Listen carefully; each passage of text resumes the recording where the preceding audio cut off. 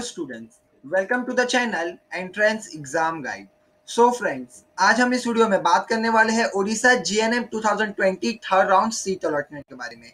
जी हाँ guys Odisha GNM का जो थर्ड राउंड सीट अलॉटमेंट है, वो रिलीज़ हो चुका है। तो किस तरह से उसे चेक करना है, उसका स्टेप बाय स्टेप प्रोसीजर क्या है ऑफिशियल लिंक कहाँ से मिलेगी? हर एक चीज़ फुल डिटेल में डिस्कस करेंगे आज हम इस वीडियो में। लेकिन वीडियो शुरू करने से पहले अगर आपने अभी तक हमारा चैनल सब्सक्राइब नहीं किया तो चैनल को सब्सक्राइब कर लीजिए।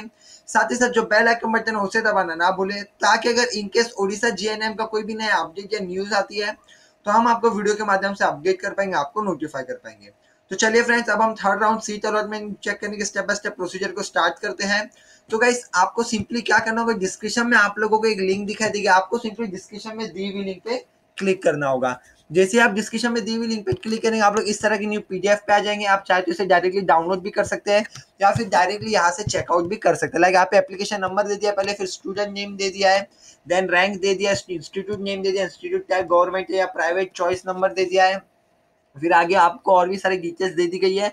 आप यहाँ से कंप्लीट डिटेल्स जो डायरेक्टली चेकआउट कर पाएँगे। सो गाइस आई होप कि अभी आप लोगों को कोई भी परेशानी, कोई भी दिक्कत नहीं होगी। Third round seat allotment check करने में जीएनएम नर्सिंग कोर्स के लिए।